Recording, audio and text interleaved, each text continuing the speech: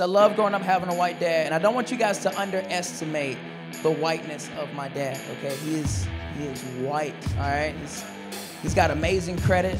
Uh, I, I wanted to do everything that my dad did, man. Play the same sports, root for the same team, and he even asked me. He was like, "You don't." He's like, "You don't want to do it like I'm doing it." I was like, "Nah, Dad. I like the struggle. I feel like." Hey, how black is your mom? Don't do that shit. Don't stop. She is. She's a very normal amount of black, okay? She's, she's like two steps below Wakanda. It's beautiful. I love it. Love it, man.